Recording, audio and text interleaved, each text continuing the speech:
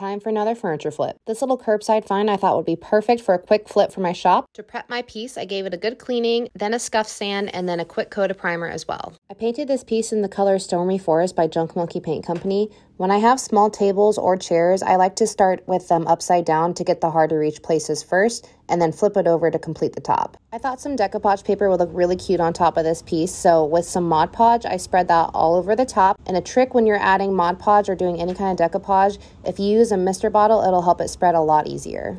Then I added this gorgeous decoupage paper from Redesign by Prima.